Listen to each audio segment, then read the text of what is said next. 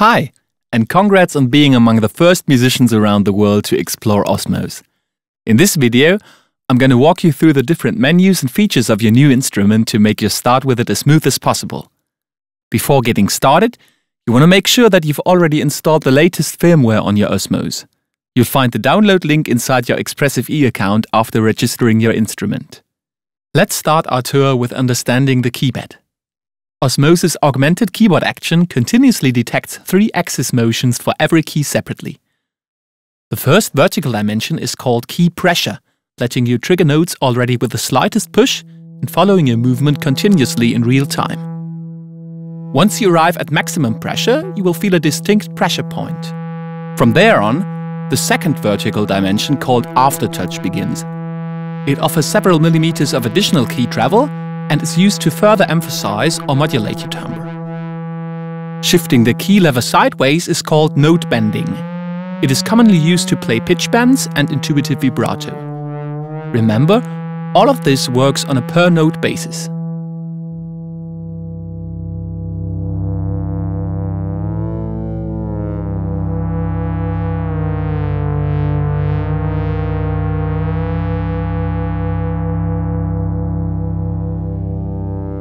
So let's dive into the main control interface. The M button in the upper left corner is the Mode button. It lets you choose between accessing the internal EaganMatrix sound engine or using Osmose as an advanced controller for external gear. Select your mode by turning and pushing one of the left encoders. Let's concentrate on the internal sound engine first. The four buttons above the display are the menu buttons. When controlling the internal sound engine, the four menus are Presets, which gives access to all the EaganMatrix presets saved on the device, Synth, which enables you to tweak the currently loaded preset, Sensitivity, allowing you to adapt the response of Osmose's keybed, and Playing, which comprises Osmose's advanced portamento feature as well as its arpeggiator. Here's how to load a preset. Go to the Presets menu by pushing the first menu button. There are three tabs inside that menu. Scrolling through tabs is always done by turning the encoder at the top left of the screen, called the tab selector. We'll stay in the factory tab. The currently loaded preset is highlighted in green. Turn the rightmost value encoder to select another preset. You'll need to push the encoder to actually load it. You can also step through the current preset list with the preset buttons below.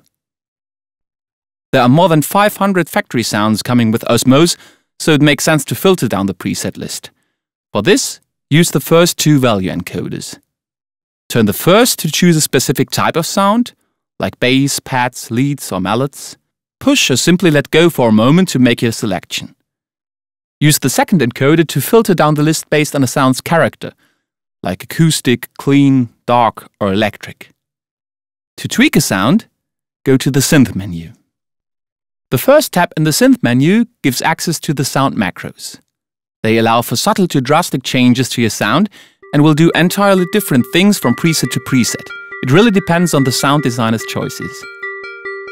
Turn the encoder below a macro to tweak it to your liking. Often, one of the macros is also mapped to the modulation slider for easy access. Whenever there are more than four parameters to access, a bar of bullet points at the bottom of the screen indicates that you can scroll using the lower encode on the left, called the parameter selector.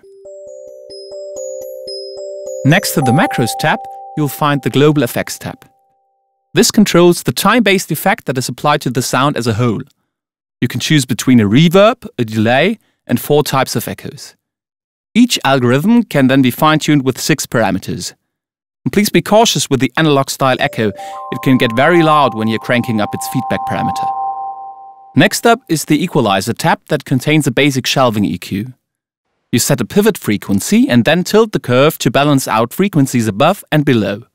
It's a parallel equalizer, which means you can mix in the processed signal with the unprocessed one by increasing the mix percentage on the right. The EaganMatrix is an extremely dynamic sound engine, so we've programmed a compressor in all its factory sounds to keep levels more consistent. It is a one-knob compressor whose threshold, ratio and attack are defined by the compressor amount, but of course its behavior also depends on how much signal you feed into it with a pregain. Similar to the EQ, there's a compressor mix that allows mixing the wet and dry signal. Changes to the macros, the effects, or the EQ may lead to an overall volume change.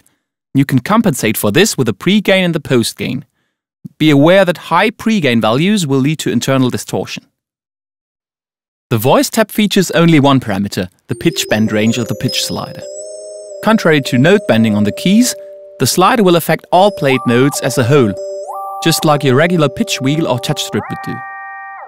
Lastly, the Mod Pedal tab lets you choose the parameters that you want to control from the modulation slider and the two pedal inputs. Pedal 2 and the Mod slider will always control the same parameter. Make sure to calibrate your pedals via the global settings before using them. Possible modulation targets are different types of sustain, the synth macros, the effects parameters, and the post gain. If you map your pedal to the post gain, then it will act like a classic volume pedal. If you wish to save the modifications you've made to sound, you will need to head to the Presets menu again. Scroll to the Save tab. Use the leftmost value encoder to click on location. Then turn it to select the slot to save to and validate by pressing the rightmost encoder. There are 128 slots dedicated to user presets. Factory presets cannot be overwritten. To give your user preset a specific name, turn the first encoder to select the name line and press to enter the renaming process. You can then scroll through characters by turning the encoder. Turn the second encoder to move the cursor. Once you're done, validate by pressing the fourth encoder. The saving options let you decide whether or not you wish to save the current sensitivity menu settings and or the playing menu settings with that preset. We'll get to the logic behind that later. For the moment, press the rightmost value encoder. It will save your current sound into the selected user location under the name you've just entered. To recall your saved preset, go to the User tab of the Presets menu. This is perfect to keep your favorites or to prepare for a gig. The third menu is the sensitivity menu. It allows adapting the new keyboard interactions offered by Osmose to your playing style. The Bending tab lets you change how the lateral bending of a key will affect the pitch. The first parameter is the range that defines how far the pitch will be modulated at maximum deflection. Given the limited sideways key travel, you'll probably want to go with one or two semitones most of the time, but wider ranges can also make for interesting results. The goal of the three following parameters is to make Osmose react to vibrato or bend gestures in a natural way, while at the same time helping you to stay in tune when no bending is intended. This is achieved in two ways. First, there's the bending curve. It will establish a kind of dead zone around the middle of a key in order to avoid unwanted bends. However, playing vibrato with only subtle gestures will become increasingly difficult the bigger that dead zone is. Then, there's a stabilization algorithm that will intelligently smooth out uneven motions that tend to happen especially during the first few moments of your keystroke. To quickly step through useful settings for both curve and stabilization at once, there are five sensitivity sub-presets that go from low, medium, regular to sensitive and high. Lastly, there's a fifth parameter called activation, which allows you to enable bending only for specific notes. For instance, it might come in handy to only activate bending for the highest note when playing chords with the left hand and soloing with the right. The pressure tab concerns the first vertical dimension of the keys. It lets you define at which point an actual note is triggered, which is called the note on threshold, and then lets you adjust the response of the pressure dimension with a curve. Similar to the quick settings of the bending tab, the first parameter of the pressure tab also offers some sub-presets that adjust the note on threshold and the curve of the pressure at once. If you find yourself triggering notes unintentionally, then you may want to increase the note on threshold value, which will increase the amount of downward key travel needed to trigger a note. This will bring you towards a more classic keyboard feel, where notes are only triggered when you push a key right down to the bottom. On the other hand, if you're eager to experiment with triggering notes using only light taps on a key surface, then an extreme setting for the pressure dimension will allow you to do exactly that. The aftertouch begins where the pressure dimension is at the maximum. Another curve allows you to adjust its response. The more notes you play at once, the harder it will become to really push fully into the key's aftertouch without bending notes unintentionally. This would be an example of a situation where you would perhaps prefer to have a sensitive aftertouch that doesn't require lots of force to activate. The last tab of the sensitivity menu allows you to save your current settings as the default sensitivity that will then be used across all factory sounds. Factory sounds don't have a specific sensitivity saved with them, so upon preset change, you will always fall back to the default setting saved at the time. Defining your default sensitivity will help you feel at home with the instrument. While you are growing your level of comfort with Osmose, you may want to update that setting from time to time. That being said, different playing situations also call for different sensitivity settings. A setting that allows for beautiful articulations when playing a solo flute can become hardly manageable when playing wide pad chords with both hands. This is why you can decide to save the current sensitivity setting with a user preset. Just activate Save Sensitivity in the saving options, and it will later be recalled when dialing up that user preset.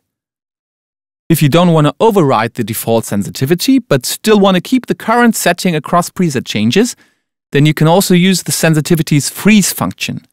There's a snowflake symbol next to the tab selector. If you push the tab selector, it will become purple and the current sensitivity remains active across preset changes, even when dialing up a user preset that has a custom sensitivity saved with it. Push again to unfreeze. Moving on to the fourth menu, the playing menu. It offers useful MIDI effects that let Osmose interpret the notes that you play in an intelligent way. Let's start with Haken Audio's pressure-weighted portamento, or pressure glide for short. It's not only great for monophonic sounds like leads or basses, but also works wonders for some plucked or guitar-like tones where a little slide here and there makes all the difference. Turn the first value encoder in the playing menu to select Press Glide. Whenever Pressure Glide is activated, you will be warned about it with a symbol that remains visible also when browsing in the presets menu. Back in the playing menu, the second tab lets you define a pitch interval in which two simultaneous key presses are interpreted as a legato line instead of polyphonic playing. Let's enable pressure glide across the whole keybed just to listen to its effect. Unlike regular portamento, which makes the pitch glide to a new note within a fixed amount of portamento time, pressure glide reacts to the pressure ratio between the two notes. The pitch will dynamically glide between the notes in real time reacting to how you distribute pressure between them. As mentioned, the portamento will only be active within the interval defined in the pressure glide tab. Let's say the interval is set to two semitones. It will sound great for gliding between adjacent notes while still being able to play polyphonically. However, as soon as you're playing a chord with a second in it, two notes will be joined into one, possibly conflicting with what you expect to hear, so when pressure glide is active, always bear in mind the chosen interval in order to avoid surprises during your performance. Pressure glide can be quickly switched on and off by pressing the parameter selector in the playing menu. A freeze function is also available in the playing menu. Press the tab selector if you wish to keep the same pressure glide setting across preset changes. The second feature of the playing menu is our advanced MPE arpeggiator. In the Choose tab, Use the first value encoder to load up the arpeggiator. The rightmost encoder then allows you to choose an arpeggiator preset. Changes will take immediate effect when scrolling through the list. The Adjust tab contains all the arpeggiator parameters. Hold will make sure that the notes you pressed will continue to be triggered even when you let go of the keys. It will remember the maximum pressure applied to each key. The note repertoire will only be reset when you've already released all keys and then press a new key. Tempo defines the beats per minute. Pressing the encoder below will switch between syncing to an external MIDI clock and using the internal clock. Pattern lets you choose in which order the notes are played back. Division defines the note value of one arpeggiator step. Gate time defines the note length. Octave range lets you add multiple octaves above the notes played. Swing allows shifting every second arpeggiator step in time. 100 equals an even playback of all steps. Values above 100 will introduce more and more swing until eventually every second step is joined with the next step. Ratchet will introduce multiple triggers during one arpeggiator step, and Rise and Fall will add some inertia to parameter changes, smoothing out fast increases or decreases in value. The most interesting aspect of arpeggiator is that those parameters can not only be changed on a global basis for all notes, but also the way you press individual notes on the keybed can modulate a parameter for that specific note. It means that you can highlight single notes within your arpeggiator sequence just by pressing them differently from the others.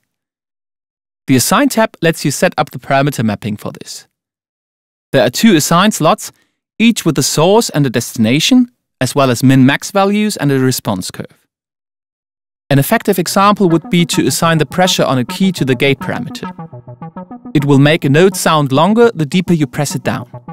You could also add octaves above when pressing a note into the aftertouch, or introduce ratcheting only for notes that you bend to the right. There are lots of possibilities we invite you to explore. A few examples are shown in the arpeggiator presets. The arpeggiator playback can be quickly started or paused by pressing the parameter selector in the playing menu. Press the tab selector to freeze the arpeggiator if you wish to keep its current settings but experiment with the effect it would have on a different sound. And if you find that the arpeggiator should be an integral part of the current sound, then don't hesitate to include it while saving this sound as a user preset. Just set the Save Playing option to Yes, and the ARP will be recalled when opening that user preset again. You can also save just the arpeggiator preset on its own. Use the Save tab of the playing menu for this. Your ARP preset will then show up in the Choose tab just below the factory ARP presets. That's it for this quick tour. More episodes will be added during the upcoming weeks while the Osmose community continues to grow steadily. In the meantime, you may want to check out the Quick Start Guide and our online manual. Also, feel free to reach out to us and share your feedback by creating a support ticket on our help pages. Thank you kindly for your support on behalf of the whole Expressive E team. Happy exploring!